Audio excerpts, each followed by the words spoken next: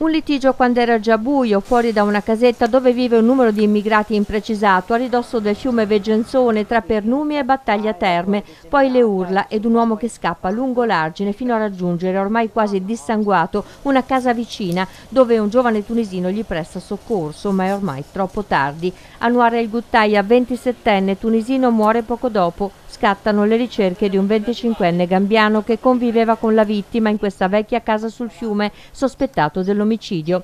Dopo qualche ora il giovane viene rintracciato a Battaglia Terme, poco lontano, all'interno di una struttura di accoglienza per profughi dove qualche tempo prima era stato ospite. Era riuscito a entrare da una delle finestre e si era nascosto in una stanza. I carabinieri lo hanno arrestato con l'accusa di omicidio. Avrebbe accoltellato alla gola El Guttaia al termine di un litigio per futili motivi vivi. I vicini li hanno sentiti litigare per uno zaino e sono ancora sconvolti dall'accaduto. Ieri è entrato a casa normale, lavato per mangiare normale, dopo è uscito la, la, si sentito rumori, ha chiamato mio amico, c'è qualcosa, io sono uscito davanti alla porta e ho trovato quel ragazzo cottato in sangue.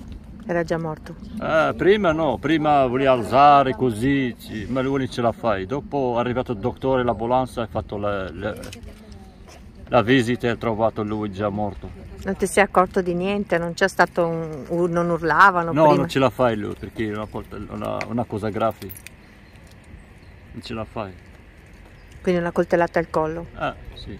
C'è paura in quest'area, un tempo paradiso di quiete nella campagna ed oggi trasformata in un luogo insicuro dove c'è un continuo via vai di persone straniere senza fissa dimora. Troppa gente che non sai neanche quanti ci sono.